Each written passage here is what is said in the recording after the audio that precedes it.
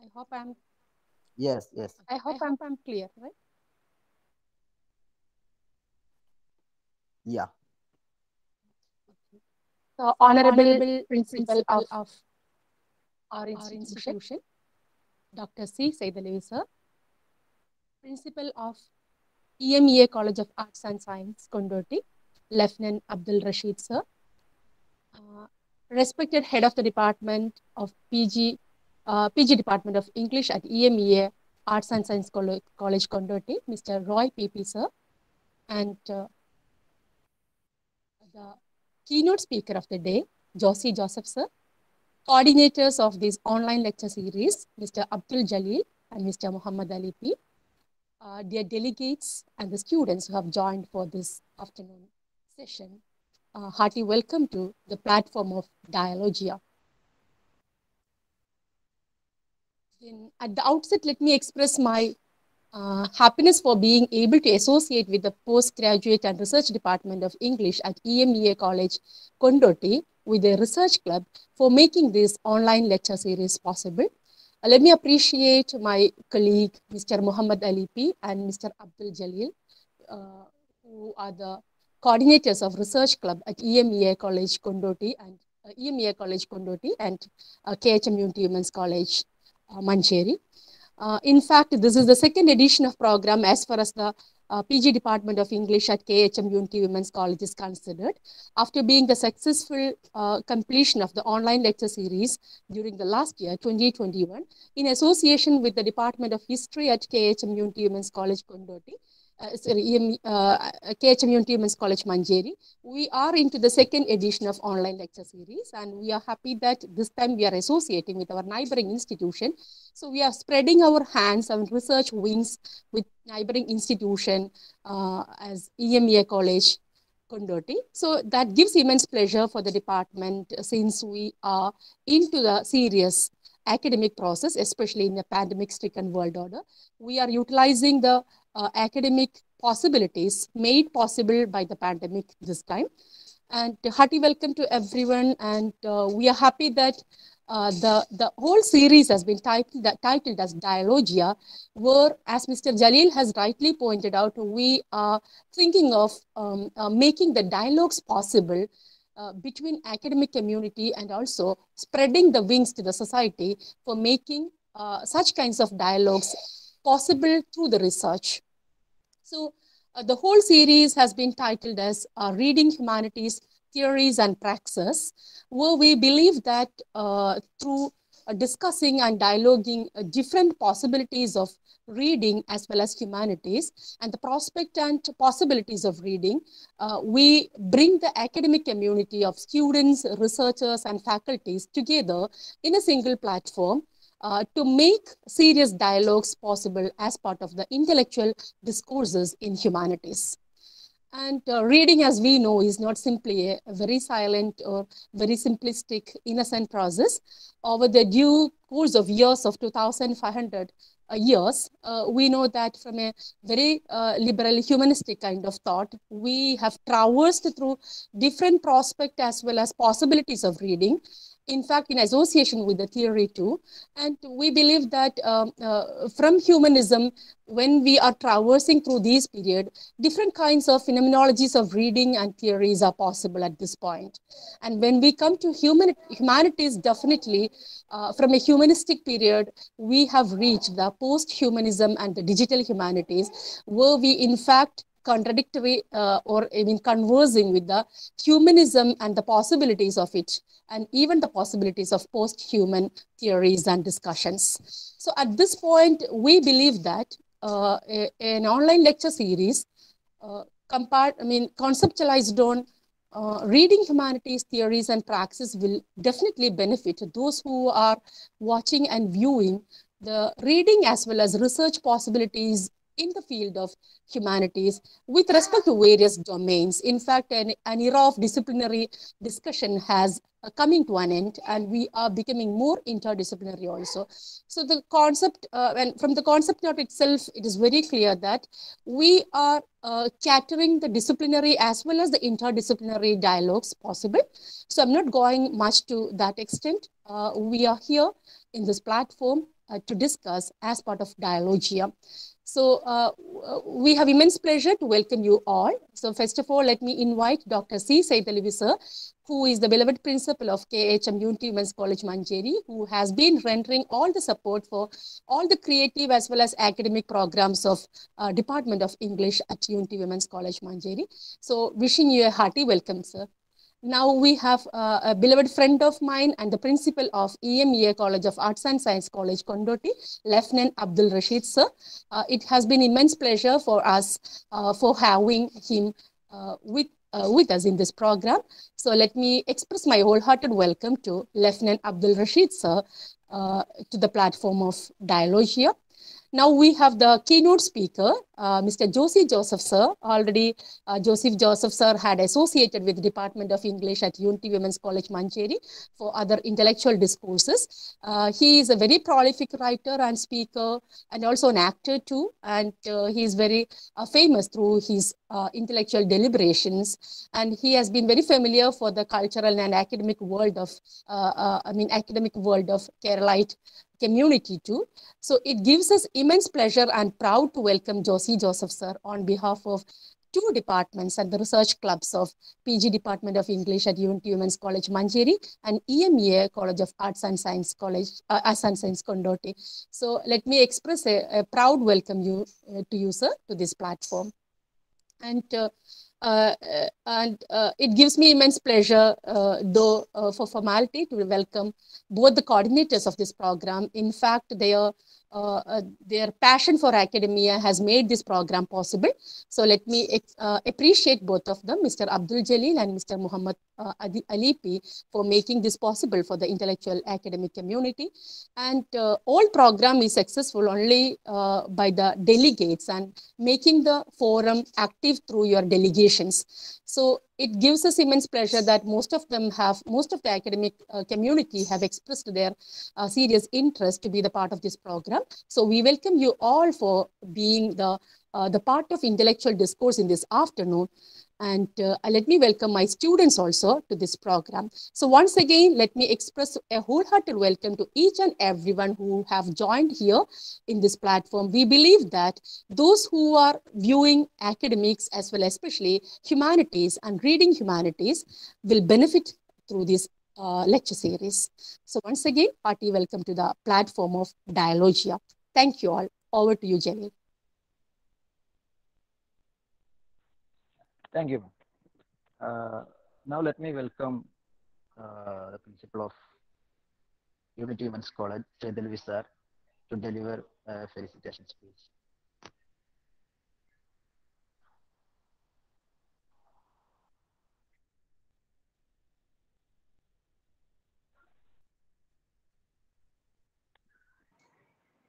Chedalvi sir? Hello. Hello. Yeah, yes sir. Hello, sir. Hello, sir.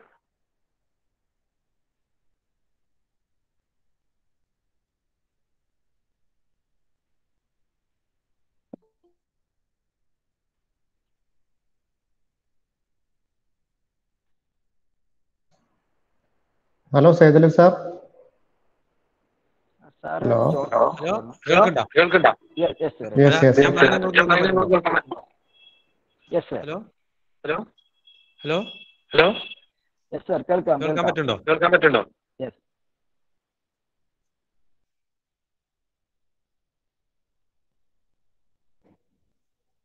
Hello? Yes sir കേൾക്കാൻ പറ്റുന്നുണ്ട് sir കേൾക്കാൻ പറ്റുന്നുണ്ട് sir സംസാരിച്ചോളൂ. ആ good ah afternoon good afternoon hello? Yes yes yes respected respected chief guest of today, Dr. Josy Joseph, head of the Department of English, faculty members from EMEA College, students from both the college. Today, we are online for lecture series, Reading Humanities, Structure, Sign and Writing. As we all are aware, reading books is vary from other readings or we can ask some questions. What are books? Or what are not the books? When we ask these questions, certain difficulty arise in our mind. Is the brochure of a railway station or the brochure of a cookery guide is a book? Or what is the difference between these brochures and the books like Paradise Lost or Divine Comedy or Satanic Verses? Or what is the difference between the uh, books of medicine, theology, or literature? For clearing these type of doubts, let me say a piece of literature is entirely different from a treatise on astronomy or economics or philosophy or even from history. Because literature is dealt with a particular type of readers. Truly speaking, it is directly dealing with men and women with a concept of men and women.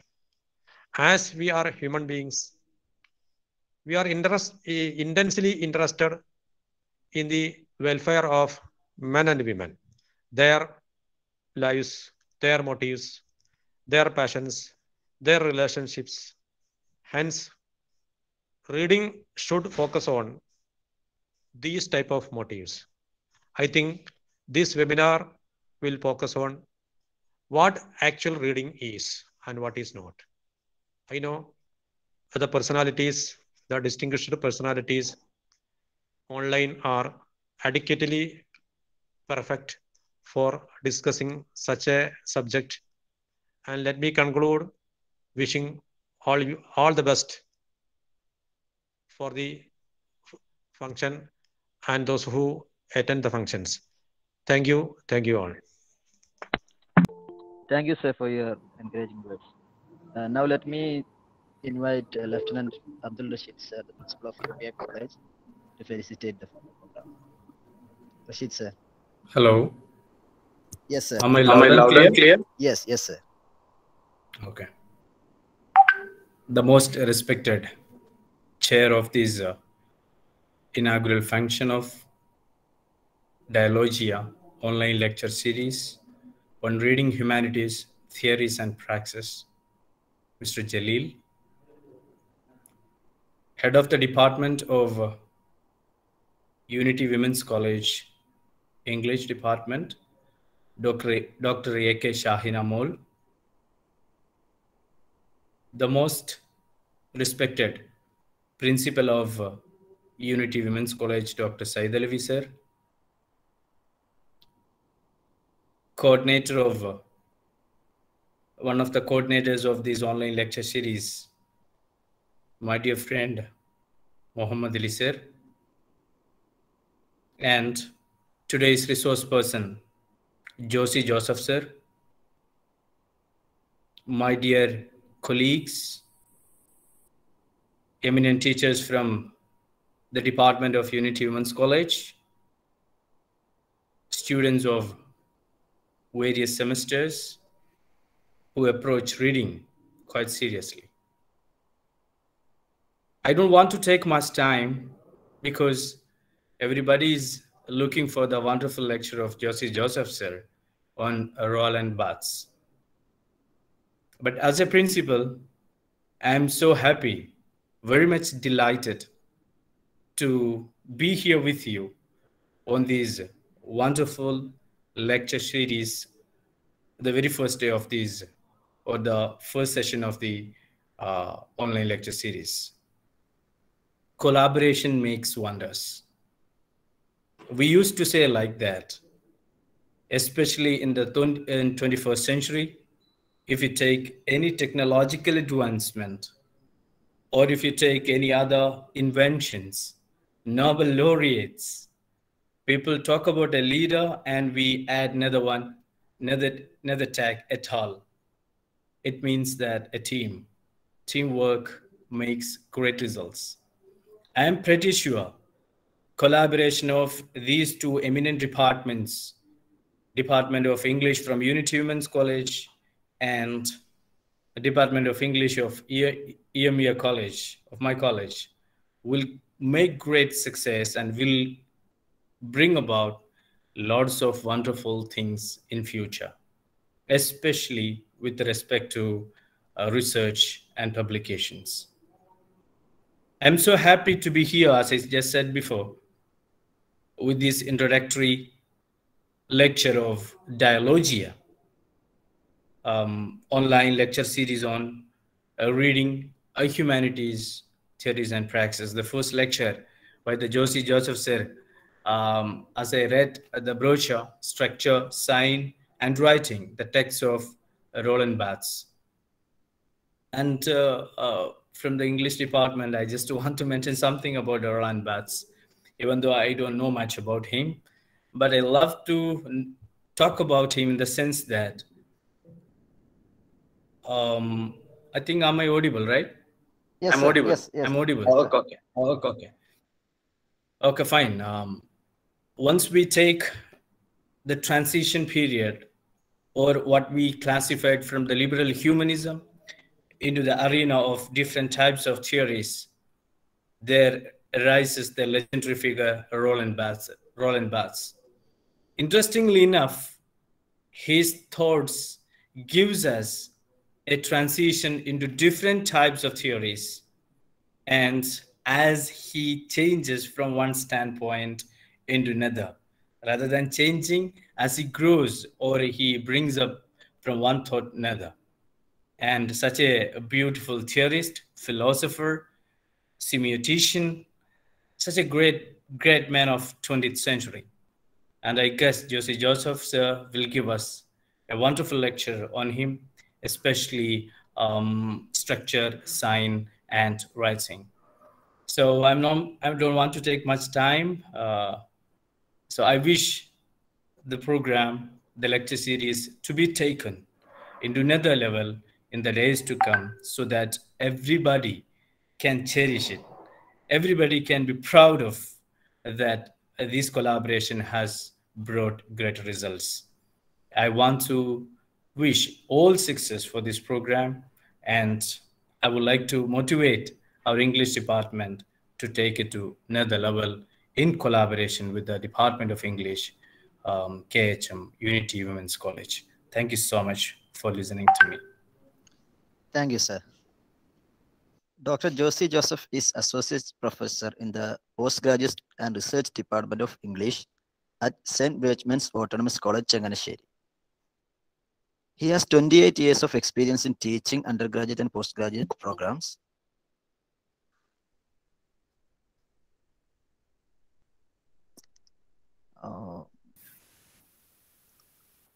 His areas of specializations include Shakespeare drama, 20th century literature, literary theory, and cultural studies.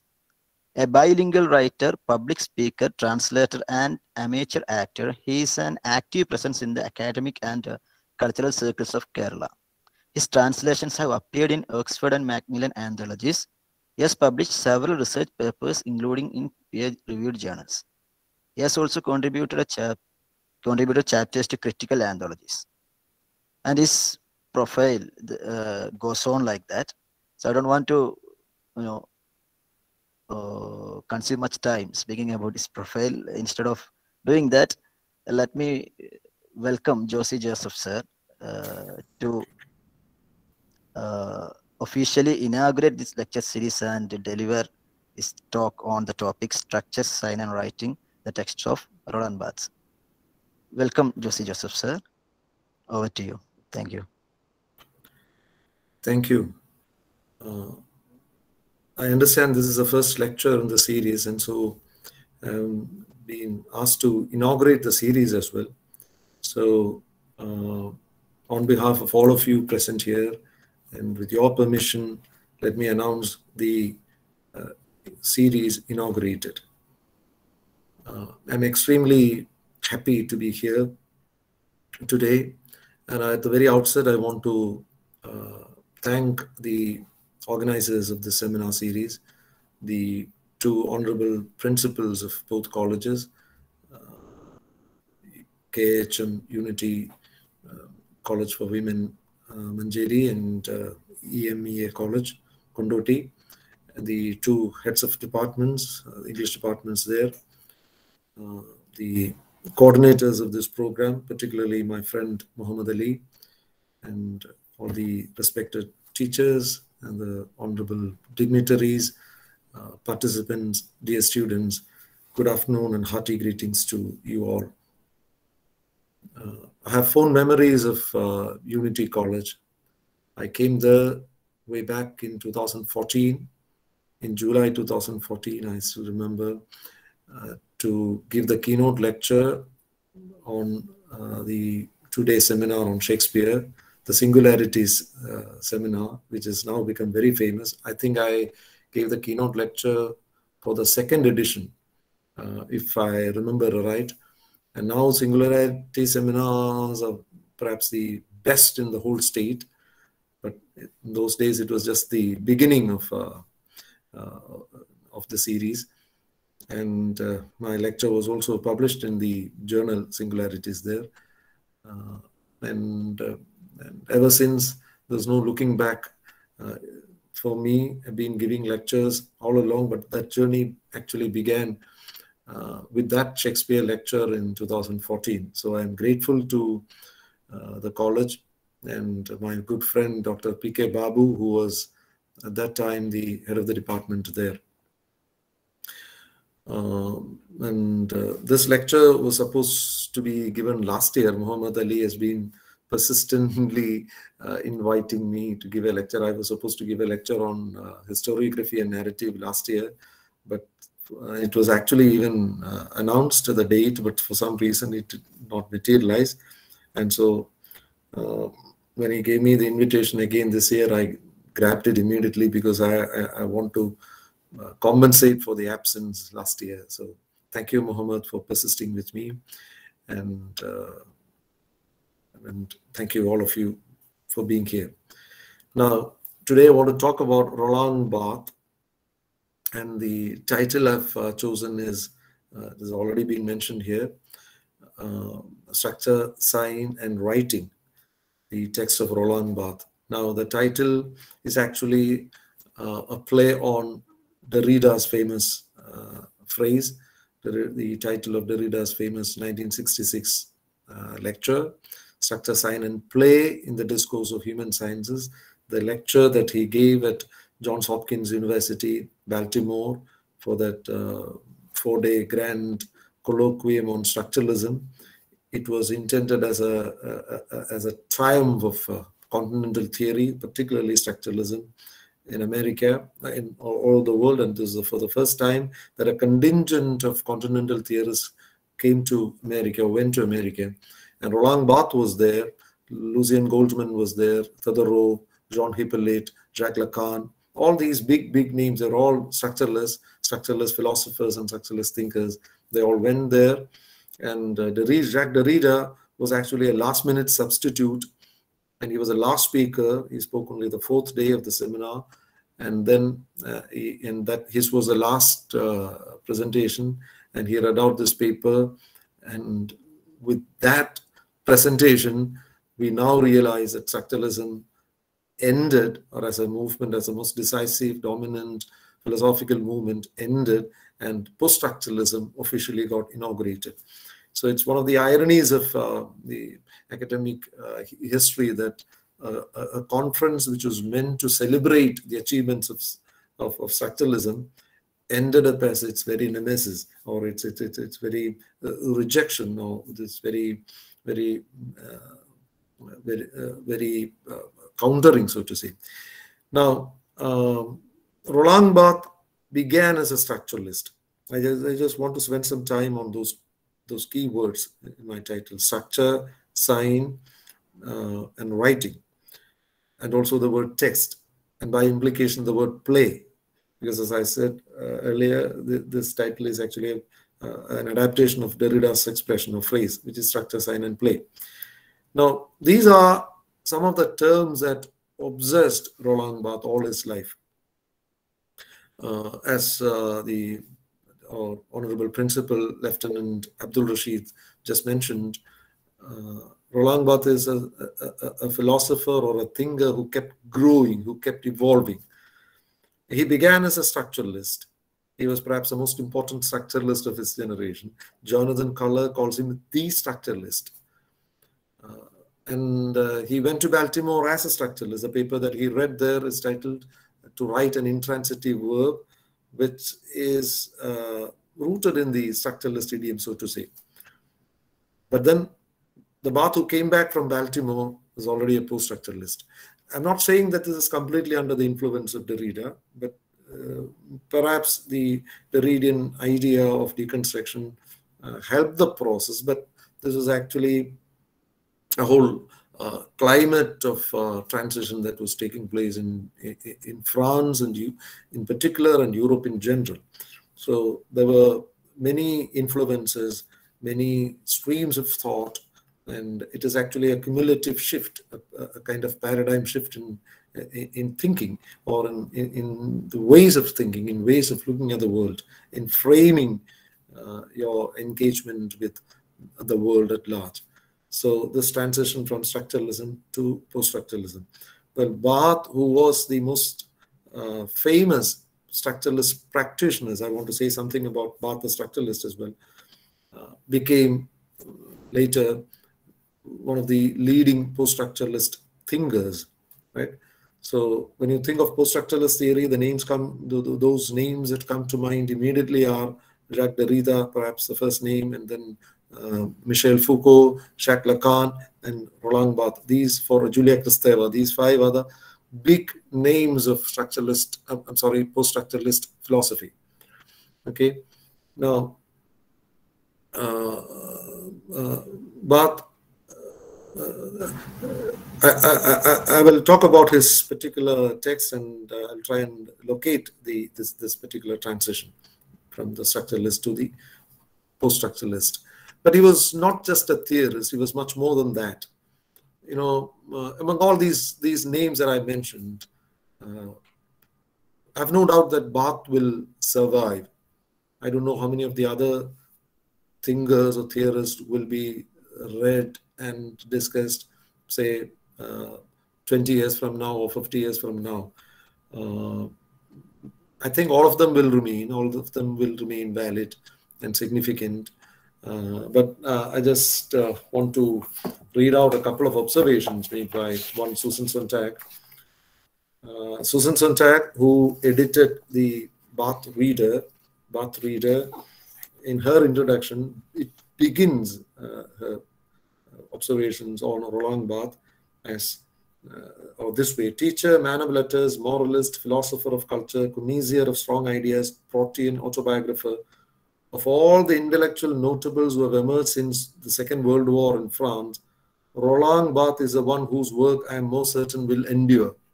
This is Susan Sontag. Then uh, Wayne C. Booth, writing in 1979 when Barthes was still alive, says the man who, about Roland Barthes says, describes him as a man who may well be the strongest influence on American criticism today. Then Jonathan Culler, who wrote the monograph on Roland Barthes in the Fontana Modern Master series and which was later reissued as uh, in the Oxford very short introduction series. Uh, very short introduction series, wonderful introduction. I strongly recommend this book to all the students here. If you want to know more about Barthes, perhaps this is the starting point.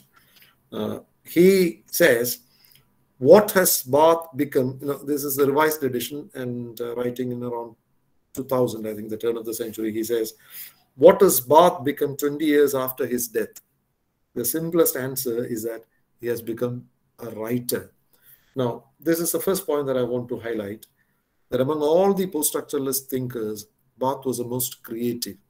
So he will survive, if not for the, the, the profundity of his thoughts or the density of his arguments or, or all those theories uh, and uh, critical thinking, he will be, remain or will survive as a writer. You say this about Sigmund Freud as well. Because much of Freud's ideas have, have now been rejected by uh, psychologists or psychoanalysts all over the world. But Freud is still a very prominent uh, thinker because he's an excellent writer. I love to read Freud. Those who've read Freud will agree with me. He's such a delightful writer of, of, of very imaginative and creative prose. Now, Barthes is, uh, is perhaps the most creative among all the uh, structuralist and post-structuralist uh, uh, thinkers and philosophers. He was unique. Uh, he never produced a huge book, you know, or maybe any one uh, meta-narrative uh, text of a grand theory like Derrida's deconstruction or Foucault's discourses on power or analysis of structures of power or epistemes uh, or Foucault's huge book on, say, madness and civilization, which was his doctoral thesis running to about 900 pages in the original text. And the English translation is actually a, a reductive uh, text of around 300 pages. I'm talking about Foucault's first book. Uh, Barthes has nothing like that to offer. He is a man of parts. Again, Jonathan Culler describes him as a man of parts. Uh, is something here, something that is a master of fragments, so to say, the master of fragmentary writing. And uh, is also very passionate in his writings, very emotional. There is so much of his personal life. Ironical to say this about Roland Barthes because he was a great uh, champion of the death of the author. Uh, but uh, as Derrida himself said, another you know, you know uh, champion of the post-structuralist thought is as all writing is autobiographical. So uh, the, the, the death of the author is of course a very valid argument because only if you take out the centrality of the author, that the persona of the author can writing exist and become meaningful. And because Barthes's fundamental basic argument is that it is the reader who constructs the text, and it is the very process of reading that constitute the, the text. And all his life he was interested in the in the structuration of narrative, or the structuration of writing. How is a text constituted? How does a, a text come into being? Okay. Now I want to go back to those words, the key words of my title: structure, sign, writing, uh, and text now and also play by implication structure i've already explained to you he was a structuralist and uh, he uh, used the Saussurean model, the linguistic model, uh, and applied it to all cultural practices and cultural expressions. Uh, his most famous book, perhaps, is uh, Mythologies. Now, uh, this is partly the, the method is structuralist or rather semiotic which you know emerged out of structuralism. It was Saussure's great dream to establish this uh, this this science of signs, as he called it, the this larger system uh, which can explain all forms of uh, signs, all forms of, uh, uh, of, of, of, sign systems, and language being just one among the many. And uh, Saussure famously said, there is no such discipline at the moment, uh, but it has every right to exist. And there will come a time when uh, you will have a semiology of uh, the various sign systems of this larger structure. And that Saussurean dream was actually realized by Roland Barthes. Uh, and by the time Roland Barthes, uh, you know, wrote all his articles and put all these cultural every practices of everyday life, popular cultural texts, uh, and uh, put them to uh, a, a, very rigorous ideological scrutiny and looked at it, the structuration and the patterns, the codes, uh, and all those uh, semiotic conventions, and explained all that in linguistic terms. Uh, well, this became very popular and very familiar now, perhaps Barthes's greatest contribution to the world of humanities or the world of social science studies or sciences is perhaps this this method of semiotic analysis of everyday culture. Now, uh, if uh, this again is my request or strong recommendation to all the students listening to me, if you're planning to read just one book by Roland Barthes, let it be this book, Mythologies. Mythology, uh, by the word mythology, well, he is using it in a particular sense. By the word myth, he means some cultural practice that is taken for granted, that is considered natural. Uh, it could be an idea, it could be a, a, a, practice or a ritual or a ceremony or a spectacle or a form of entertainment. And then what he does is he analyzes its structure and then he analyzes its ideological implications. For example, there's this famous essay on toys. He looks at contemporary French toys and he looks at the, the kind of toys that are given to girls and the kind of toys that are given to boys. And uh, the kind of toys given to children. His basic argument is that, you know, uh, there is a fundamental mistake in the way we look at toys or the way we select toys for children. We assume that the child is a miniature adult, and so we give the child all these uh, objects of the adult life in miniature forms. So a child is given a small car. Why should a child be given a small car?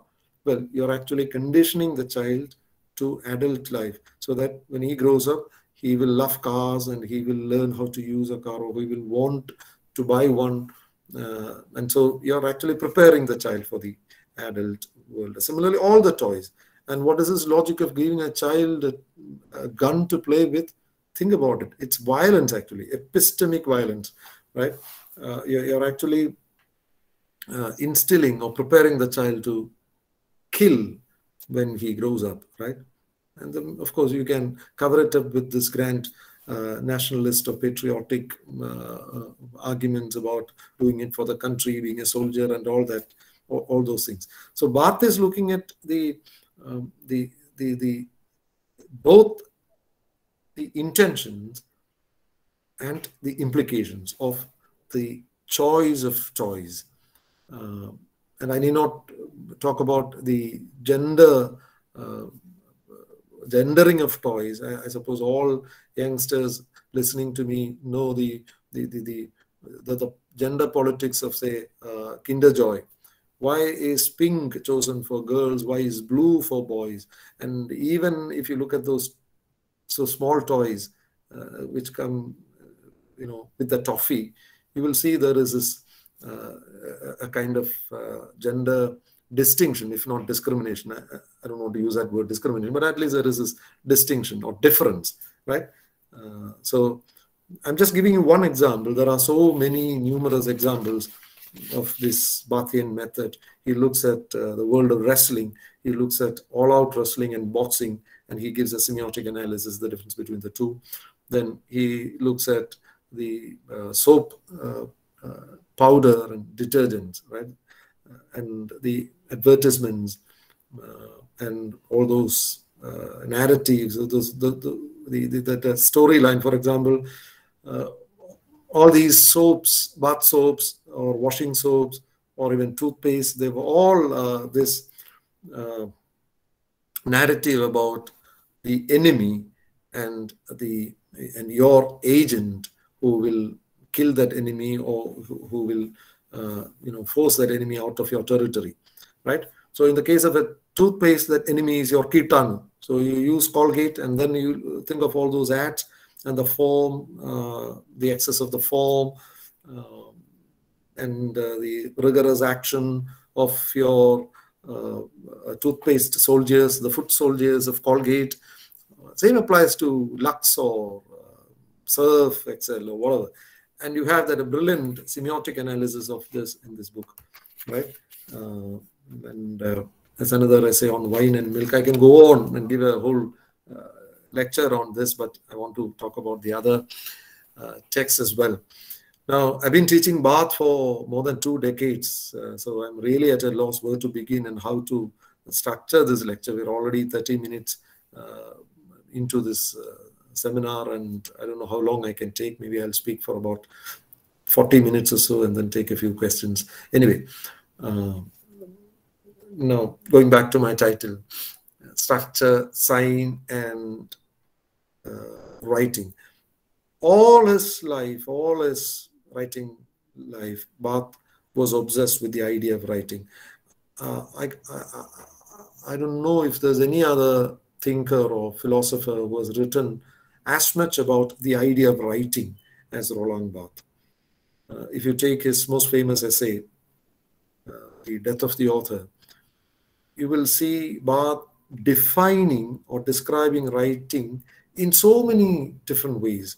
There are some, a dozen or so descriptive statements about writing alone. And uh, you will find this in all our uh, major critical texts of whether it is to write an intransitive verb or criticism as language, one of the earlier texts, or uh, is seminal essay from work to text, or the pleasure of the text, or the theory of the text. In all these essays, you will find Barthes thinking about and reflecting on the ideas of the text, the ideas of writing. Okay, and then the sign again, this transition from structuralism, post-structuralism, is actually centered around the the nature of the sign or the or the recognition or the realization of the nature of the sign. You know, I'll explain this later when I uh, discuss that essay from work to the text. Okay, now uh, what I'm going to do next is to introduce some of his works. His first work, or maybe before that, I'll say something about uh, Roland Barthes in general. He, uh, unlike the other big names, the, Fou the Foucaults and Derrida's, you know, Barthes was unlucky in his academic career because he was a, a sick child all his life. I mean, all his uh, childhood. He was unwell.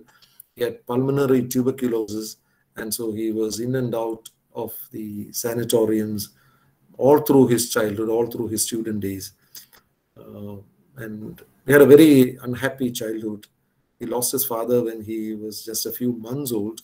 His father was a naval officer who got uh, killed in the First World War, and uh, the beginning of the First World War, in fact. Uh, and Barthes was brought up by his mother, and he was uh, obsessively attached to his mother.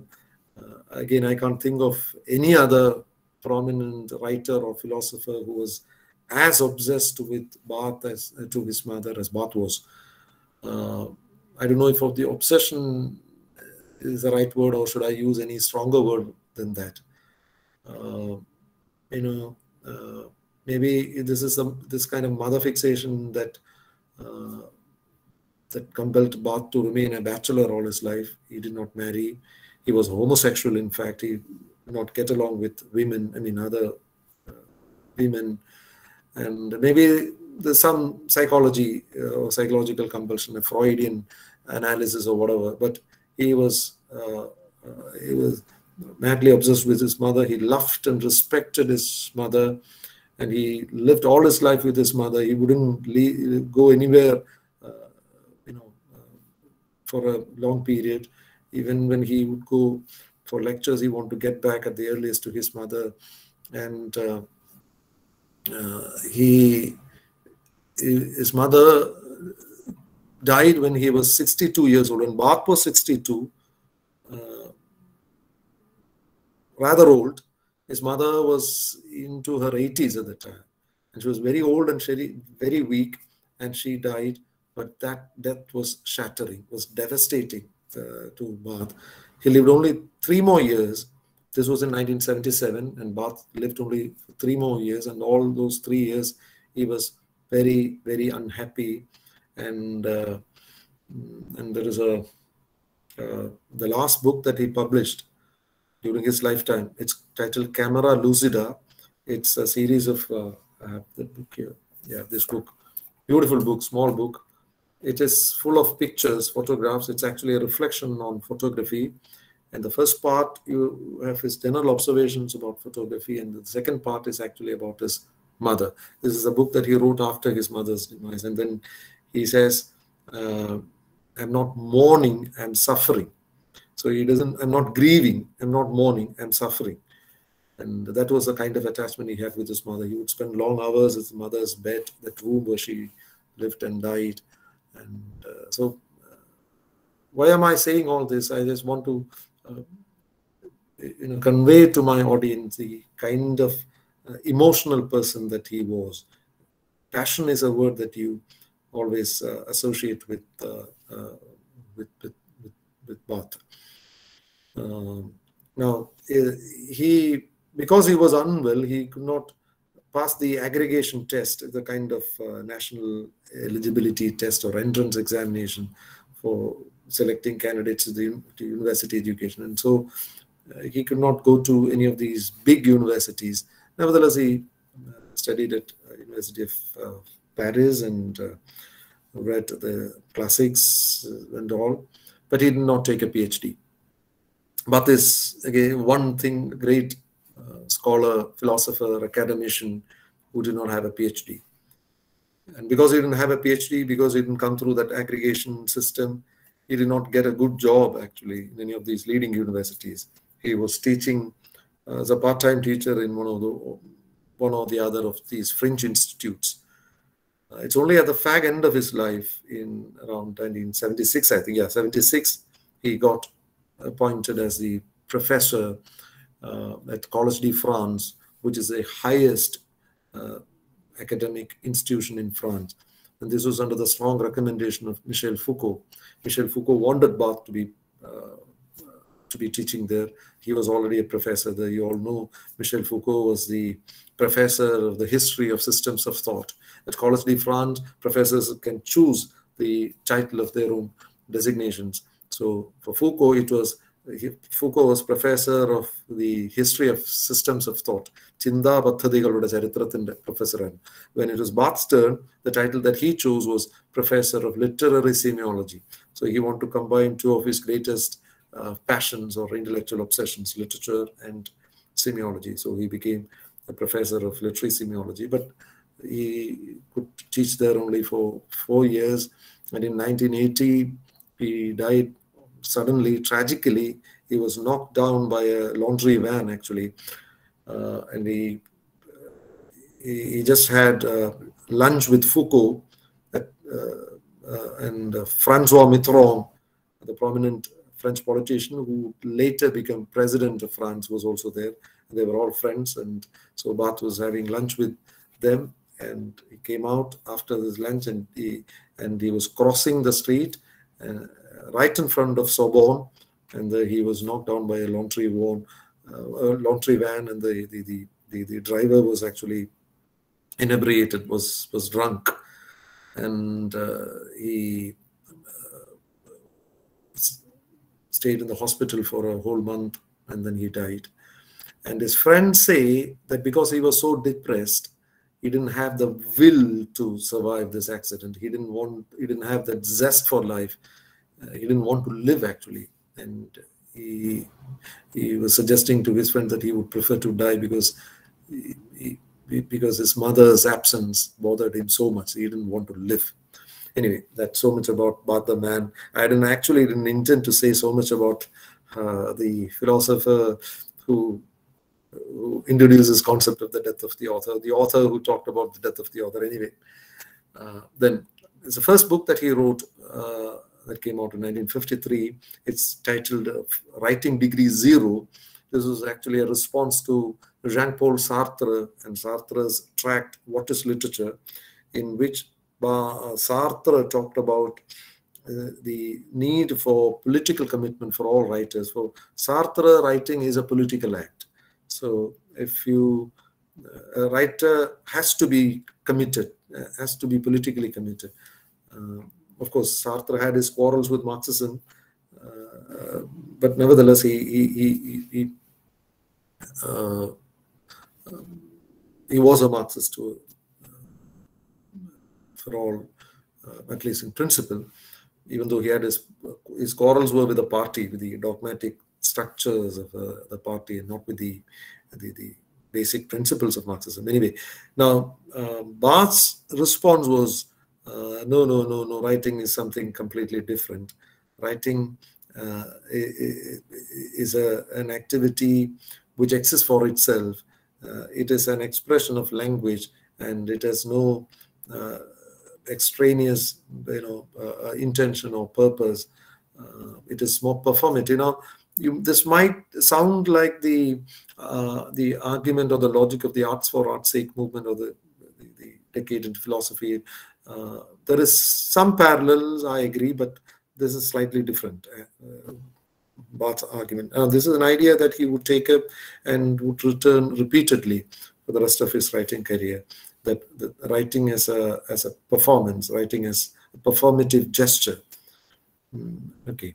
Now the second book, the book that uh, made him very popular, uh, I've already mentioned this, is actually a collection of the monthly column that he wrote for a leading uh, newspaper. And the column was titled Mythology of the Month. And for uh, so every month he would take up some cultural practice, cultural expression, or uh, uh, and he, he uses the word myth to uh, describe this practice as a kind of cultural delusion, you something that we take as natural, take as granted, without uh, thinking about its history, without thinking about the its purpose, without thinking about the meanings, all those things. So uh, this is actually the uh, a combination of uh, structuralist analysis and ideological criticism. So, uh, this is Barthian semiotic analysis of contemporary culture. Okay, then um, now I want to introduce this book. This is the language of fashion. There's a typical uh, structuralist analysis of fashion uh, using the Saussurean model Barthes looks at the world of fashion and he looks at all those codes, conventions, patterns, the the langue, uh, the underlying langue, the larger system, which makes possible all the individual expressions, the paroles, right? Just as uh, Saussure talked about the langue and the parole of language, Barthes uses the same model and talks about all this. He also talks about the syntagmatic and paradigmatic combinations, you know, all those things. Something that he would later apply about food as well. Uh, you know, uh, I'll just give you a, a, an example of the, the logic. You know, uh, you know how the syntagmatic paradigmatic relations work in language, right? A syntagmatic relationship is a relationship, a linear kind of relationship uh, that exists between the different elements or units uh, within a, a, a, given structure, say a sentence. So uh, when you say um, uh, uh the children are playing, or uh, Rama killed Ravana, the, the age-old uh, example of grammarians, grammar teachers. Okay, now you have that linear relationship between the subject, the object, and the verb. Okay, that's syntagmatic. And then you have the paradigmatic relationship, which is the relationship between uh, an element present in a structure and other elements we, which can replace that particular element, right? So instead of Rama, uh, or Rama killed Ravana, instead of Ravana, you can say Rama killed Bali, which would also be uh, logically and grammar, grammatically correct, valid. Okay, so uh, so this relationship between Bali and uh, Ravana is a paradigmatic relationship. Now, if you think about the uh, the clothes that we wear, there is a syntagmatic and paradigmatic relationship. For example, I'm wearing a shirt and a pants. Now, the relationship between the shirt and the pants or the trousers is syntagmatic. It's a linear relationship. But I can choose to wear a, a kurta instead of this shirt. I can just change this and put on a t-shirt or a jubba or a kurta, and that would be a paradigmatic uh, choice, right? So you can, uh, and instead of the, the um, trousers, say if I change to a pair of jeans or a dhoti, munda, uh, or a three-fourth or whatever. See, this is, I'm just giving an example of how this logic operates. Similarly with food, the syntagmatic, paradigmatic uh, choices and the the the langue food, the different uh, categories, classifications, there are starters, there are uh, begin, you know, you know, opening courses, there are main courses, there are deserts, all those things. And Barthes does it brilliantly, beautifully. He is a master of uh, of semiotic analysis. So he does. Now, um, Barthes is famous for three or four things. So this is one thing, the semiotic analysis of everyday culture. Then he is famous uh, as the proponent of the idea of the death of the author. I wanted to say something about that. So that is uh, perhaps the one essay that made him very famous in the academic world. Uh, made him the prominent post-structuralist thinker. Uh, and that essay was written in 1967 uh, after the 1966 paper at Baltimore to write an intransitive world, which was uh, the end of Barthes, the structuralist. And then this essay uh, marks this transition of Barthes, the structuralist, to Barthes, the post-structuralist. Uh, and this was actually uh, presented at a seminar in America and published in America in 1967 in English. If you look at um, several uh, critical anthologies, this essay is dated as 1968, Death of the Author 1968, which is wrong. 1968 is actually the French publication, and because Barthes is French, we people just assume that he must have wrote it originally in French, and they go by that French date of publication. Actually, he had presented it already in America in English and present and, and published it in a, a, a cultural popular cultural magazine called Aspen. Uh, Aspen in the 60s was a very a kind of multimedia journal. Uh, the issue would come to you as a as a whole package, uh, as a in a box, and you will have something to read. You will have a couple of uh, uh, video uh, tapes, musical tapes, uh, recordings, or whatever, and then some certain curios, objects, stationery. This is that kind of a, a product. And avant-garde, if you could say, radical publication, new generation stuff. And Barthes's essay was published. Death of the Author was published in that that magazine. Anyway, so that is the uh, second uh, claim or reason to Barthes's fame. And the third, I would say, is Barthes, the literary hedonist. He was somebody who championed the reader's right even to read idiosyncratically and to elicit whatever meanings that he or she wants and to do whatever uh, she wants with the text. For Barthes, reading is all about play. The ludic principle is central to uh, Barthes. Again, the play, the Derridian play. Of course, we can relate it to the Derridian play uh, because it is because of that Derridian play, the idea of difference, of dissemination, of of dissemination, uh, of intertextuality, and all that that uh, this playing, the act of playing, is possible. So, um, and uh, for Barthes, reading is something that gives pleasure and something that should give pleasure. And the pleasure, it's no ordinary pleasure. He would later make a distinction between simple pleasure and uh, jouissance, what he, he, he calls that French word, which means orgasmic or ecstatic pleasure. And reading uh, a text should end up in that kind of ecstasy uh, and kind of play. So literary hedonism is concept that you associate with uh, Roland Barthes. And then, of course, his ideas about the text the concept of intertextuality, uh, with a term was introduced or, or, or, coined by Julia Kristeva and introduced by Julia Kristeva. She relates it to uh, Bakhtin's uh, dialogism, Bakhtin's idea of polyphony, heteroglossia, and all that, and also the Saussurean uh, linguistic models, and also there's certain arguments in uh, in in, in uh, Russian formalism and combining it with with with Freudian and post-Freudian psychoanalytical uh, thinking. So uh, she introduced this concept, but it was Roland Barthes who made this concept popular. Now, what is intertextuality? Intertextuality simply, or maybe I'll come to that later when I discuss uh, the death of the author.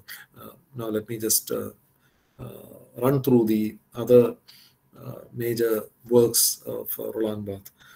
Now, uh, Barthes went to Japan and when he for a visit he spent a few weeks there and he came back and wrote a book the empire of signs which is a semiotic analysis. He didn't know anything about japan at all. He doesn't know the language you know the culture the and so he looks at the whole of japan as a as a set of signifiers signs and as a semiologist he an, analyzes uh, analyzes uh, and it, uh, he puts to semiotic analysis all those uh, sights, all those uh, scenes and spectacles that he witnesses. So that's a book, Empire of Signs. his argument is that in Japan, everything is a sign with a signifier with no signified. and he gives a very subtle, you know, nuanced arguments to prove his point anyway. Then you have uh, his book Elements of Semiology, which is again the rooted in the structuralist uh, logic and uh, the an expression of Barthes, the semiotician or the semiologist. Then Criticism and Truth is a collection of his critical essays or of literary criticism. Barthes was a wonderful reader of uh, literature.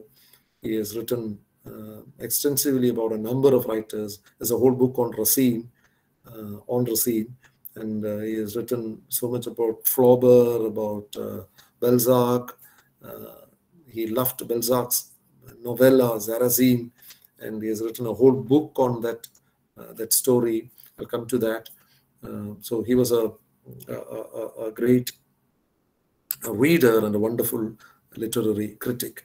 Then um, there's another interesting book by Roland Barthes, The Lover's Discourse, Fragments, uh, which is uh, textual analysis of the, the language of romance and the conventions of romance. Uh, very idiosyncratic and uh, not properly structured.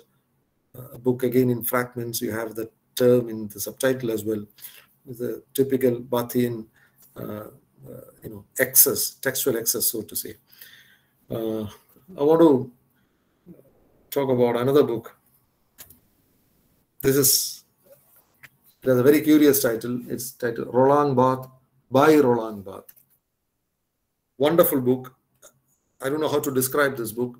Slim volume in 200 pages full of pictures it is his autobiography but this is an autobiography with a difference uh, it is almost uh, like uh, uh, uh, Roland Barthes writing a fictional biography of a man called Roland Barthes, or Barthes writing his own biography. And then there's also so much about his life. Again, you have pictures of his parents, grandparents, uh, early life, and all those things. Uh, but at the same time, there are also theoretical observations, analysis, fragments, uh, jokes, puns, all those things are there. Uh, and in the opening page, he gives a word of caution to all readers. It must all be considered as if spoken by a character in a novel. So you should treat this as a piece of fiction, as a piece of fictional writing, and as if this is about a fictional character. So, but there is so much of his personal life in it. It is uh, autobiographical, no doubt about it, but it is autobiography with a difference. Okay. Uh, now, um, I want to talk about, yeah, the death of the author. Maybe I'll talk about that book. I want to, now, this is uh, his collection of essays, image, music, text, perhaps the finest collection of essays, which includes some of his most famous and greatest pieces. Uh, you have his famous essay, Introduction to the Structural Analysis of Narratives, which is considered one of the finest critical pieces of structuralist writing. Introduction to the Structural Analysis of Narratives. So he gives a model, the structuralist model, to analyze narratives. A very seminal text. Then uh, there is this famous essay on the, the struggle with the angel, which is a textual analysis of uh, a, passage in the Bible, the Genesis, uh, a particular chapter, the 10 verses of chapter 32 of Genesis. And here is Roland Barthes' brilliant textual analysis. And then, of course, you have The Death of the Author, a 1967 essay, and uh, as well as the 1971 essay From Work to Text. These are, in my opinion, the most important essays that Barthes ever wrote. The Death of the Author and From Work to Text. And there's also this beautiful uh, essay on writers, intellectuals, teachers. I, I, I just love that essay. Now, I want to say something about the death of the author and uh, maybe just read out some of those key arguments uh, about writing. I told you he's the one thinker, philosopher who has written more about writing, the idea of writing, the idea of the text than anybody else. Now, in this essay, he defines writing as that neutral, composite, oblique space where our subject slips away, the negative where all identity is lost, starting with the very identity of the body writing. So uh, Barthes's argument is that you know we need to take out the centrality of the author and instead see the the the the, the this is as a text. Now, what is the difference between uh, a work and a text? You know, that is what he elaborates in the other essay. Maybe I'll just say something about that straight away, because this is related to the, the, the post-structuralist notion of textuality. What do you mean by textuality? By textuality is a nature of the text. This uh, this this notion that a text is just a set of signifiers and no signified at all. You don't believe in the signified anymore because you inhabit a world full of signifiers. And one signifier can only lead to another signifier. So uh, there is this infinite deferment of the process of signification. Uh, what Derrida would famously describe as différance, that term that he coined uh, as against the differential principle of Saussure. For Saussure, the operative logic of all signs is difference. One sign is different from another. Red is different from blue. Blue is different from brown. Okay, and so it is a difference that is at the heart of this whole, uh, you know, process of signification. Now, Derrida accepts that, but also argues that you know uh, it's not only that uh, different signs are not only different from one another, but this process of signification is also deferred. And how long? Well, eternally. You can only proceed one from one signifier to another. Now, I don't know whether the undergraduate students, at least listening to me, are able to comprehend this or accept this. That uh, because we are all used to this familiar comforting faith in meanings, right? This is what all teachers do. I also go to a class and then read the lines and explain the meaning to the students. This is what the poet means. This is what the text means. But the post-structuralist philosopher says, no, this is just an illusion, a myth, or maybe it is just a contingent category. This meaning is a is a provisional entity. Meaning is provisional, as uh, Peter Barry would argue. Uh, it is just for the time being, or you just say that this is a meaning. But no, uh, there is no meaning as such. That meaning is something that you have temporarily, provisionally uh, taken or, or, or, or, attributed. Yeah, the reader attributing that meaning to the text or you think it is a meaning. Okay?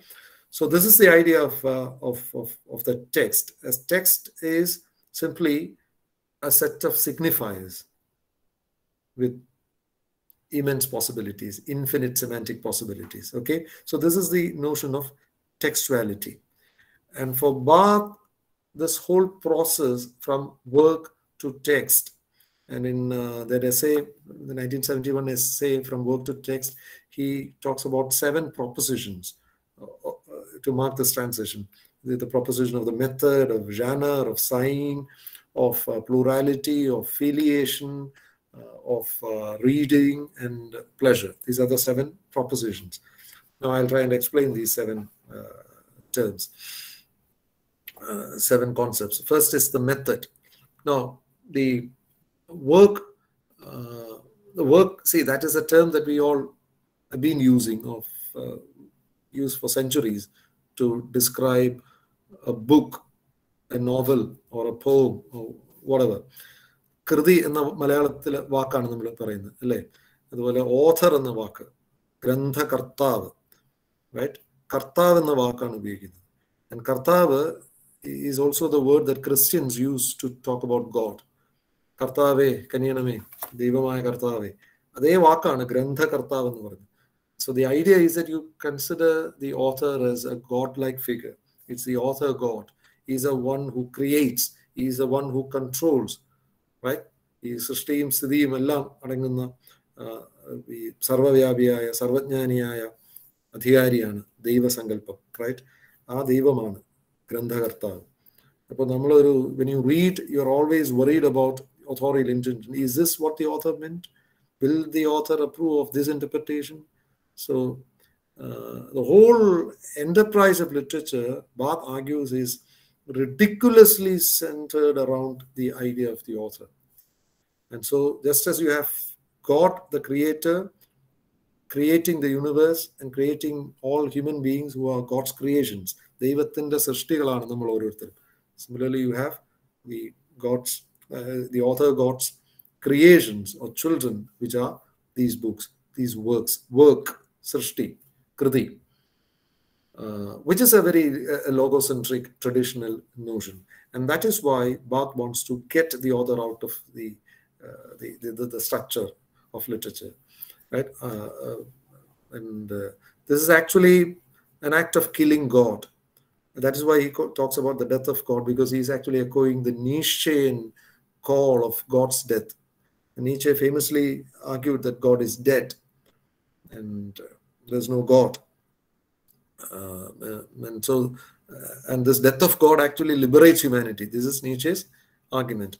Barthes is actually echoing that Nietzschean argument, philosophical argument, and saying that when you take the uh, the, the godlike figure of the author out of reckoning, the text liberates itself, and then the text has immense possibilities from their own, and then each reader, in the process of reading, constructs the text. Okay, so this is Barthes's idea of the text, and he uses these two terms work to text, author to scripter. That's the word that he uses. The scripter right, uh, is the one who uh, releases or arranges these signifiers in a particular order and releases these signifiers into the public domain. And that is what we understand as a text. So you need to connect all these things text, textuality.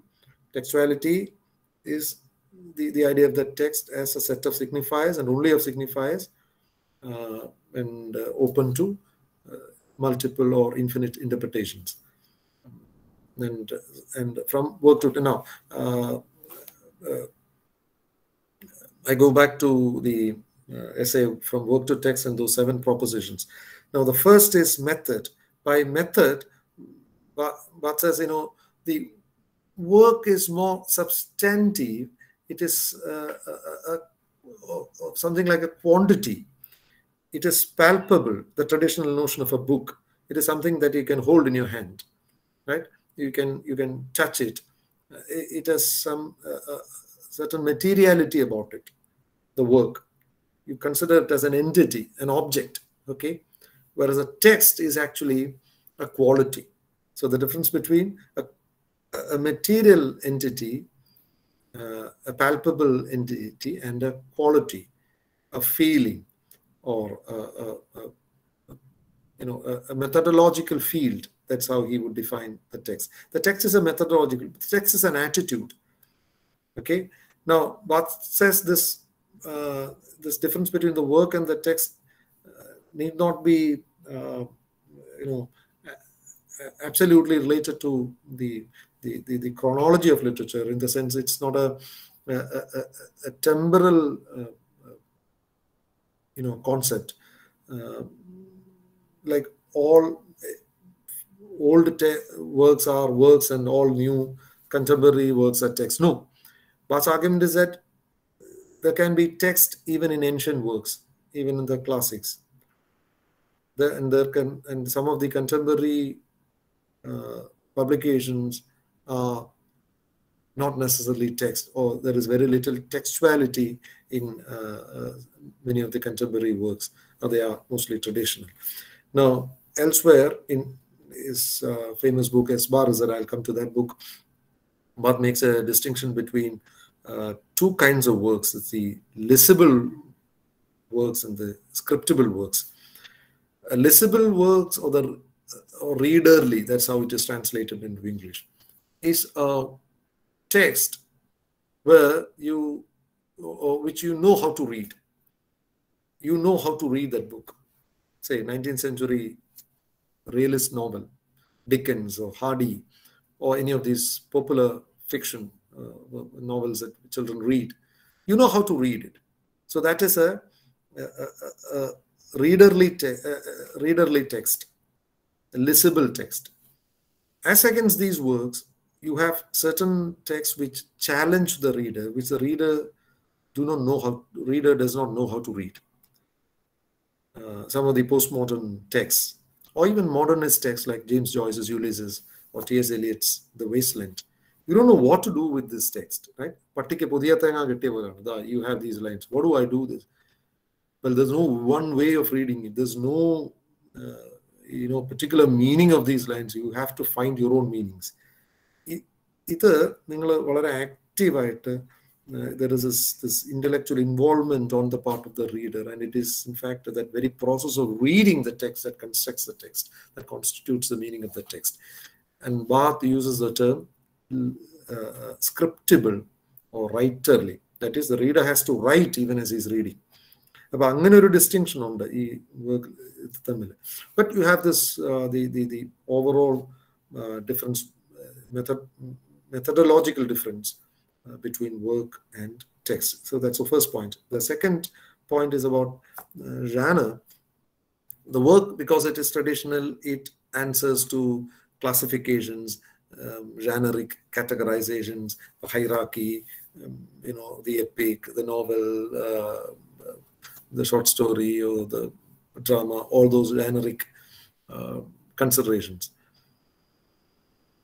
Whereas a text as I said earlier, is an attitude, is a uh, is, is a quality.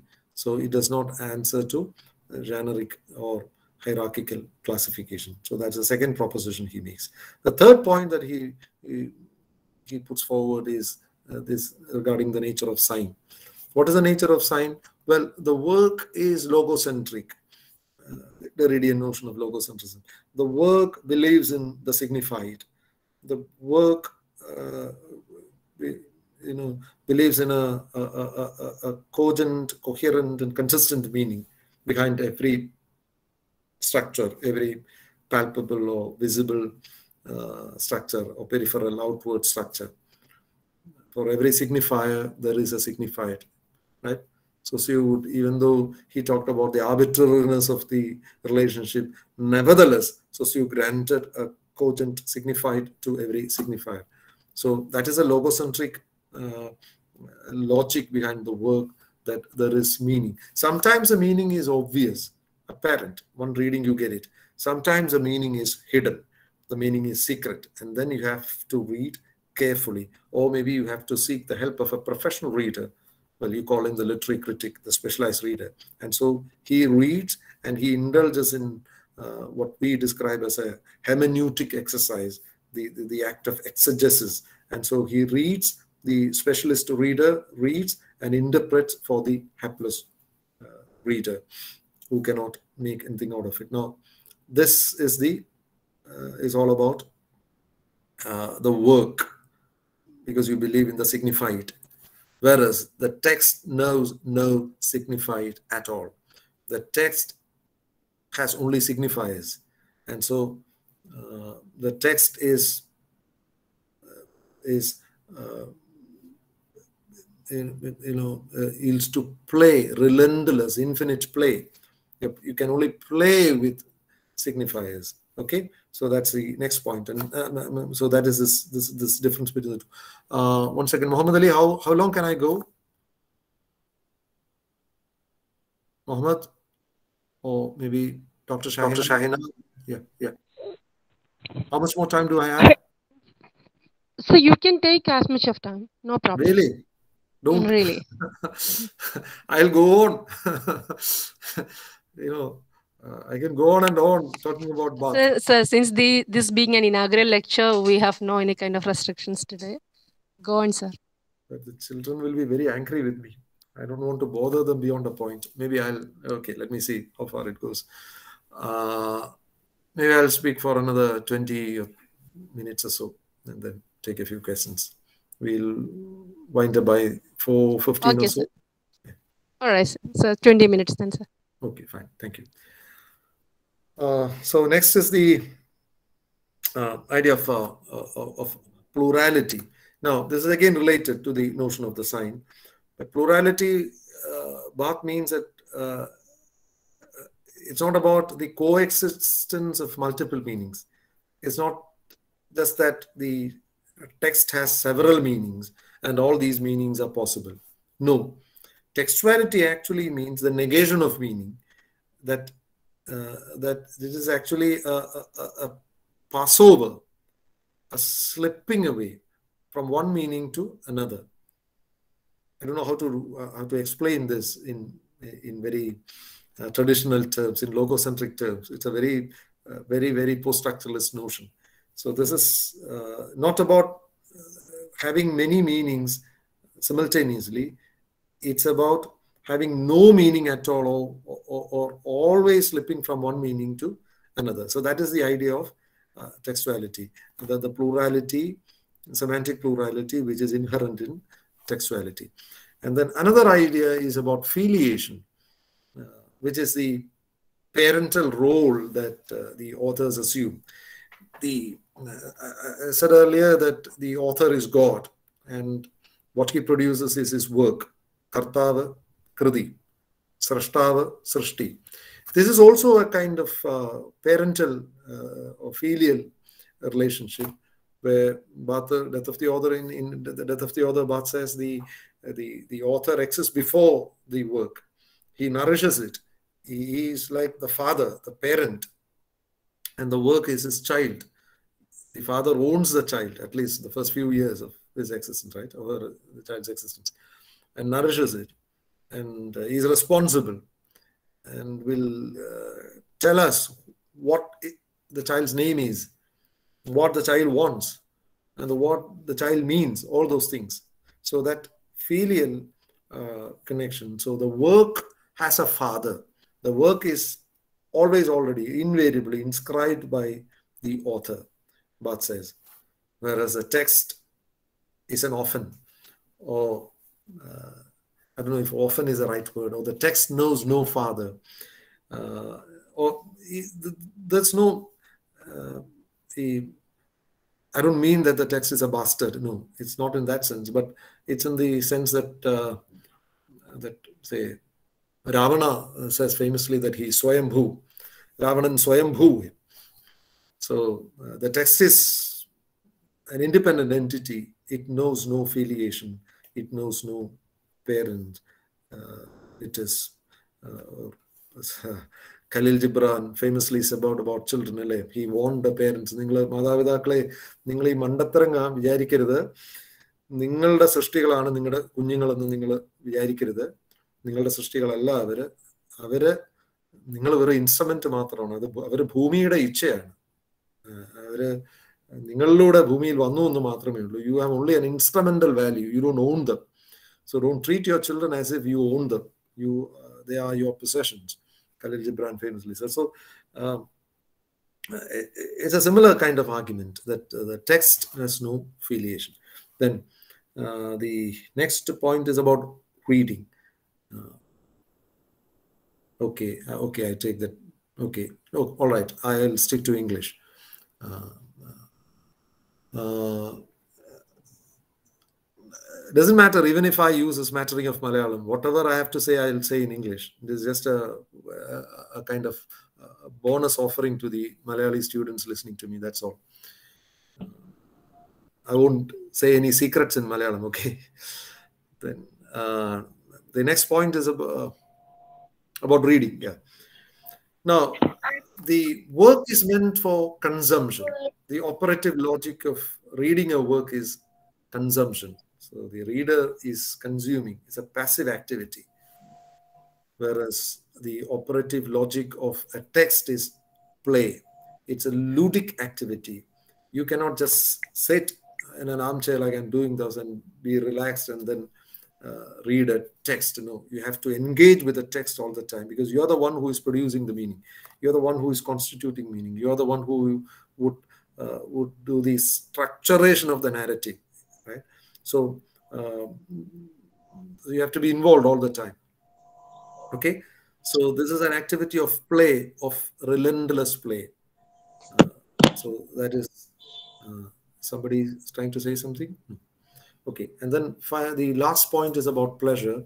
The work, because it is meant for passive consumption, may at the most give you pleasure, happiness. Uh, you read a work, you get all the meanings, you're happy, you're satisfied, you feel good. Ah, beautiful story. You close it. That's it. Whereas a text, uh, well, you cannot close a reading of a text. It doesn't get over. Uh, you can you can never completely finish reading a text, and uh, because you're playing with it, because you have the uh, possibility of playing in with it again and again, which is a relentless or a non-stop activity, you get not just pleasure but ecstasy or jouissance.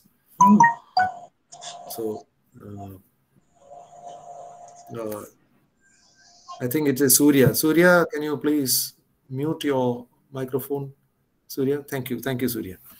Okay, so that is about uh, the uh, the text. So from work to text, these are the seven propositions that uh, he makes. Okay, I'll uh, stop it here and then go to another very important book. Uh, a wonderful book, a unique book of its kind, Roland Barthes book, S bar Z. Now, this is actually a reading of a story by Balzac. Now, he begins his famous essay on the death of the author by referring to Balzac's story Sarrasine. In his story, Sarrasine, Balzac talking about uh, uh, the narrator uh, seeing a castrate to disguise as a female singer. That's how the essay begins. Now, that story by Balzac, uh, it is given as the appendix in this book. It runs to about 34 pages, yes, 34 pages, that story. And Barthes has produced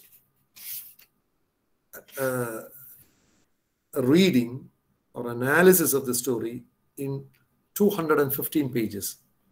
So a 34 page story by Balzac is given a 250 page analysis. Wonderful, wonderful book. Typical Barthes. Again, a book of fragments, very, very uh, idiosyncratic uh, and uh, uh post-structuralist, semiotic, all those things. You also have this the the, the bit of stru the structuralist logic in uh, operation as well. So Barthes is trying to identify and explain the structuration of the narrative. Now, how does he do that? He, now, uh, this S bar is a that's a typical structuralist binary. You know, for example, when you teach phonology or when you learn phonology, you talk about the voiceless sibilant and the voiced sibilant, right? The, the, the difference between sir and z, okay? The difference between sing uh, and zoo, uh, and the zoo is a voiced sibilant, right? So, uh, unfortunately, Malayalis don't use that that or believe in that voice at all. So the typical and Malayali goes to the zoo and watch and looks at the zebra rather than going to the zoo and seeing the zebra, right? So you can take this as a as that uh, binary, a phonemic binary, S bar Z, which is a structuralist argument. But in Balzac's story, there are two main important characters. There is a sculptor called Saracen, and there is a singer, Zambinella. So this S stands for Saracen, and Z stands for Zambinella. Now, this it's a wonderful story actually. Uh, Balzac is a brilliant writer, and uh, he is one of Barthes' fa favorite writers. And this is one of his favorite stories as well. I don't know if you can call it a short story. It's 34 page long, maybe slightly long short story or a novella to be precise. Uh, Barthes uses five codes, which again is a structuralist uh, mechanism or, or, or, or, technique using codes. So he identifies five codes and he names these codes hermeneutic, proairetic, semic, symbolic, and cultural and each pertaining to particular uh, values. Uh, for example, is about the actions uh, that take place, the events or the actions that uh, take that characters do. Uh, hermeneutic is about the interpretative uh, streak of the narrative that meaning. Similarly, with semic and symbolic and cultural, they're all codes, codes to read the text.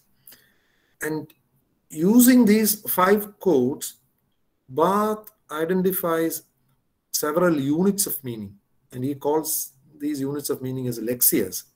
Lexia, L-E-X-I-A. Alexia, you know, the same as lexical. Uh, uh, uh, you know about meaning. So, lexia. So he identifies several uh, units of meaning. Now, using these five different codes, he is actually uh, splitting up the narrative into several units, smaller units. And in the process of reading this story, Barthes identifies 561 units of meaning. Okay, 561 lexias. Now, this is Barthes's reading of the story. Okay, it does not mean that there are these 561 units of meaning already inherent in the text. No, Barthes is identifying these many meanings. Another reader, if I read, maybe I'll get only 100 lexias. Another reader might get only uh, 200 lexias. Maybe if the reader were to read this, he might get a thousand or 2000 lexias, right? So it's a reader who actually brings the lexia or who, who, who constructs the lexias, who identifies the lexias, right? And similarly, Barthes uses five codes. Maybe I may not use all five codes. I may not even uh, think of these five codes. Or maybe somebody else will have more codes than five. So this is just a method of reading and a brilliant uh, analysis or analytical exercise, a textual analysis. And perhaps the, the most famous example in, uh, in literary history of uh, the textual analysis of a narrative. So that is uh, this book.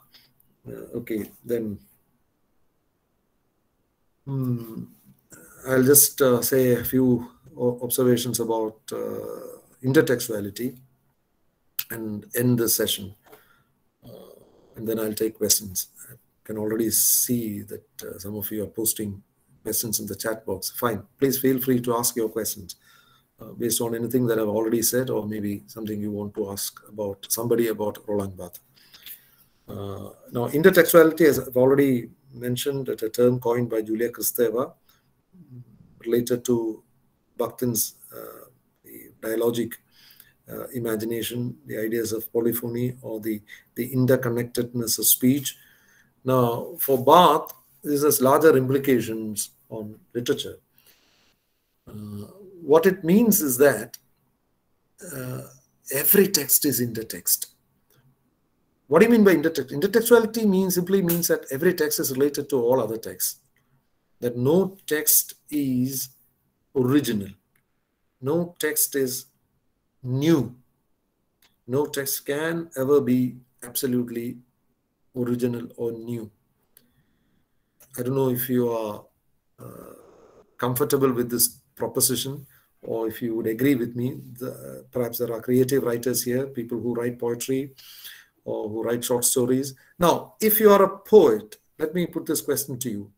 How do you know that what you're writing is a poem? Suppose you've written a poem and you bring it to your teacher or you show your friends. How do you know that this is a poem? Why do you call it a poem? Well, you call it a poem because you've already you're already familiar with the form of poetry.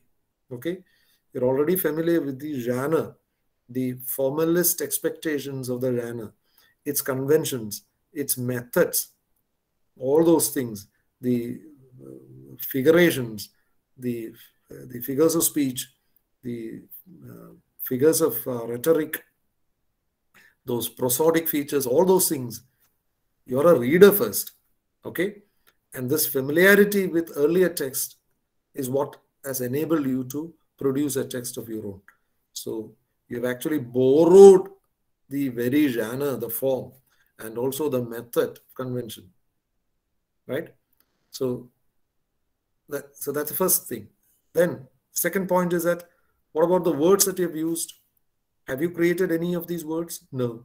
You've just borrowed words from the larger system of resources called language. But recurrent point is that everything belongs to language. Language is the owner, not the author or not any anything else. So you're only borrowing words from this immense resource house repertoire called language. All these words have already been used by a billion times, innumerable times by innumerable people, right? So what you're actually doing is you are rearranging familiar words, existing words in a particular pattern, even while borrowing that very pattern or that model and following certain conventions. That's again the third point, the use of uh, metaphoric language, the particular, uh, you know, figurations, uh, technical devices, simile, metaphor, all those things. So everything is borrowed, and you can, uh, you know, it, it's, a, you know, almost like the argument about uh, uh, the six degrees of separation that they make in sociology. That it, it goes like this, you know, that you everybody is known to everybody else. That the maximum is six degrees of of, of, separation. I mean, uh, for example, I know Joe Biden, Biden, American president, not directly perhaps, but indirectly. I know somebody who knows somebody who knows somebody who knows Joe Biden. That's the six degrees of uh, separation. For example, I know Manu. Pillai, the historian. Uh, is a friend. Manu. Pillai was uh, working with uh, Shashi Tharoor, Dr. Shashi Tharoor. So I may not know Shashi Tharoor personally, but I know Manu S. Pillai who knows Shashi Tharoor. Shashi Tharoor might know so many American uh, senators, and one senator knows Joe Biden. See, six degrees of separation. Similarly, uh, I'm just not an exact analogy. I'm just uh, trying to put across that that logic. That's all. Similarly, if you take a text, you can see how this text is related to so many other texts.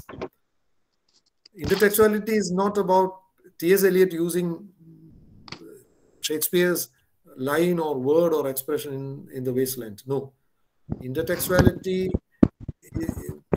not only the, uh, the, the, the inherent nature of language, it is the necessary condition of literature according to Julia Kristeva. So all texts are related to all other texts. You know, you can relate it to the Derridian notion of dissemination and trace. How every text contains all other texts.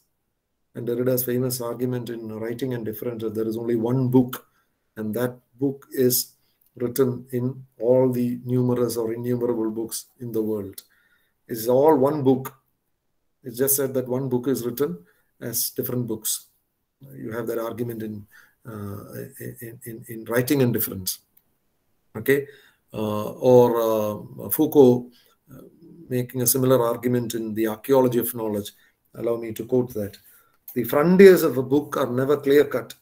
Beyond the title, the first lines and the last full stop, beyond its internal configuration and its autonomous form, it is caught up in a system of references to other books, other texts, other sentences. It's a node within a network.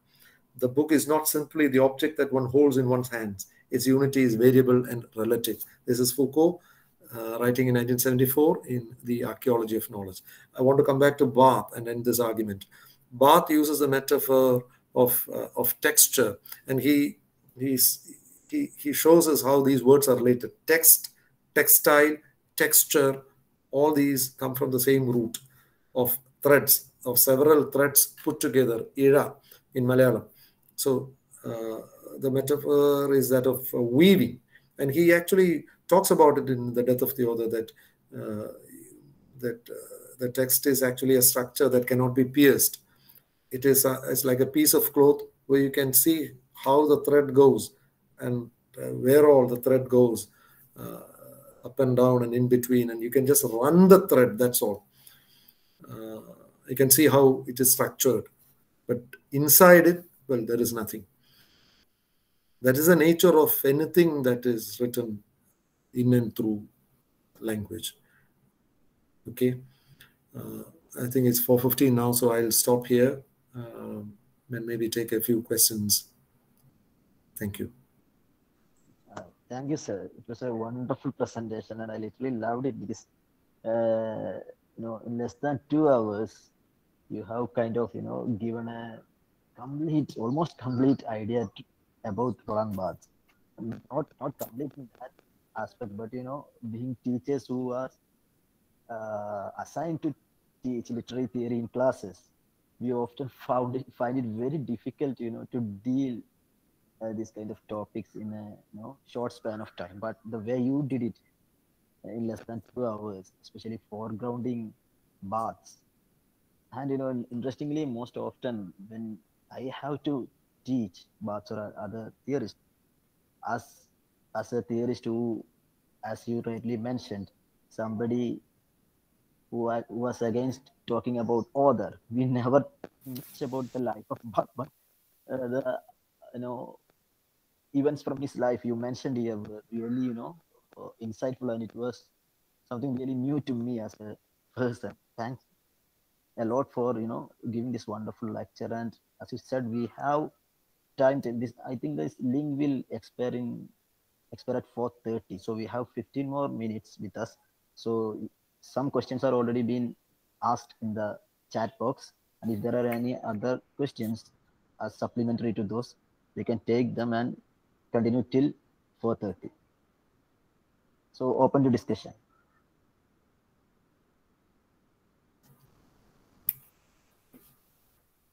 Okay, so what do I do? Shall I read that question and try to respond to those questions, or maybe can I, shall I, shall I read for, for yes sir. You, you can actually start responding to them so that if there are any other questions they can also type there in the chat okay. box and you can take it. All right all right all right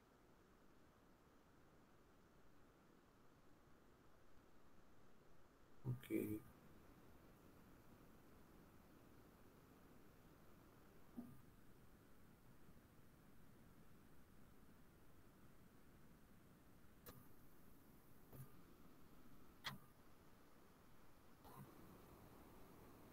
Okay, Vishal Raj asks a question. The time when literature itself is marginalized, people are either indulging in other activities or spending time on cinema web series. How far Barthes is relevant given that he primarily dealt with writing, particularly text? Well, uh, my answer would be that uh, Barthes uses the term writing in the larger uh, context, not necessarily about the institution of literature. So, uh, this is the post-structuralist position also, that these are all forms of écriture, right? Uh, uh, talks about grammatology, of anything that can be inscribed. So whether it's web series or whether it's uh, advertisements, whether it's uh, you know, there is always this, uh, this logic of the uh, signifier and the plurality of, uh, of, of, meaning and all that. So uh, you need not uh, reduce writing to the traditional sense would be my response. Okay. Then, well, Barthes would have uh, uh, really had a great time analyzing our contemporary uh, postmodern expressions all these things. He was uh, way ahead of his time, actually. Uh, he was, uh, you know, one of the earliest uh, to talk about these cultural texts. Today, this is the bread and butter of the practitioners of culture studies, right? So Barthes did this in, nine, in 1954 55, a full decade before the Birmingham Center for Contemporary Culture Studies was inaugurated in 1964, and which was the starting point of uh, culture studies, as we all know. So Barthes was doing culture studies even before that term was introduced. Then, okay, so the next question scholarly lecture literary theories and criticism are monotonous but. Okay, thank you. Thank you, Pappy. Thank you for that compliment. Vishal Raj, again, some of the contemporary cultural discourses argue that writings on the social media, Instagram, Facebook, should be considered as the popular literature of our time. Certainly, yes, I completely agree. What is your stand on that? Where do you locate Barthes today in the light of the above mentioned? Yeah, I completely agree. And uh, Barthes would have been very popular in the social media as well. And uh, he would have uh, you know considered this as, a, as the to use the Habermas concept of the public domain, the public sphere, right? Uh, because of social media, say a medium like Facebook, anybody can open an account and uh, express his or her opinion, and you can have this this free exchange of uh, ideas. Some of uh, the uh, very significant um, publications today are happening on the social media, not in the traditional print media.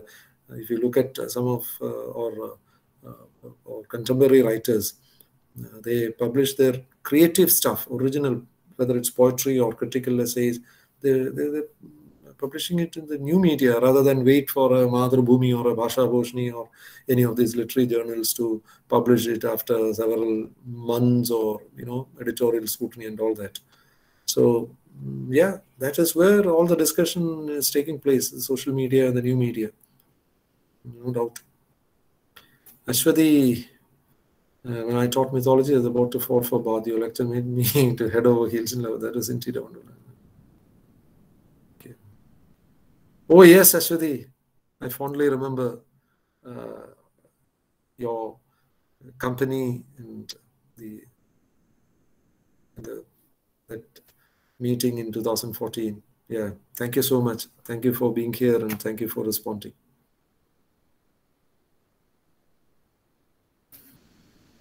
Okay, so that's all about messages. If uh, anybody wants to ask students, undergraduate, undergraduate,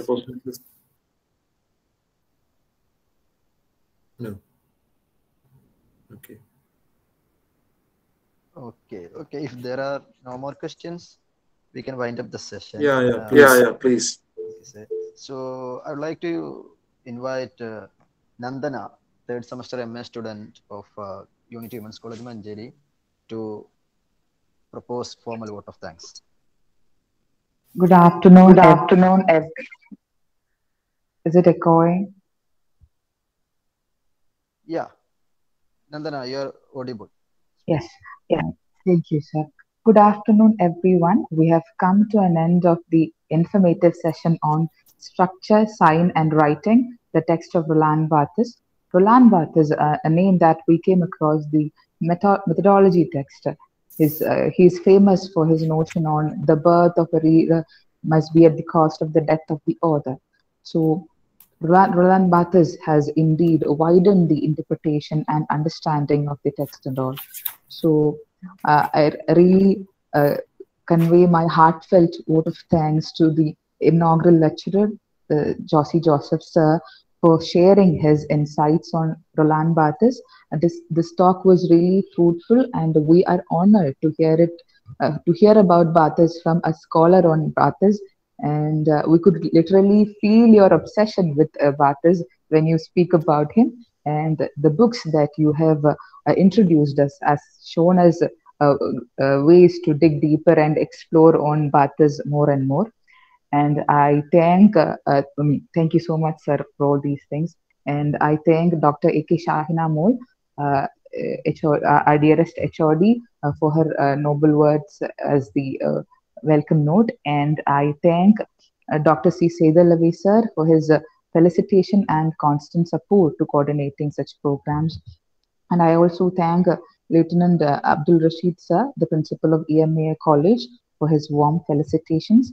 And I thank uh, both Research Club, uh, Research Club and the Department of English of both EMEA College and KAHM Unity Women's College for organizing such a fruitful org- uh, online lectures. And I convey my special thanks to uh, Abdul Jalil sir for his sincere efforts to coordinate and host this whole session. And let me conclude. Uh, I thank all the teachers and students from various colleges for attending this session and make it, making it successful.